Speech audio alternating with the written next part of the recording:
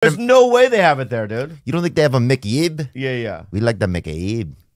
Is that a McDonald's in North Korea? I think it's like their version. But you, you're right. They don't have like fast food. They don't have fast food there. No corporations go there. What? Yeah, dude, I found. So you imagine the home cooking. It's all home cooking. bro. I,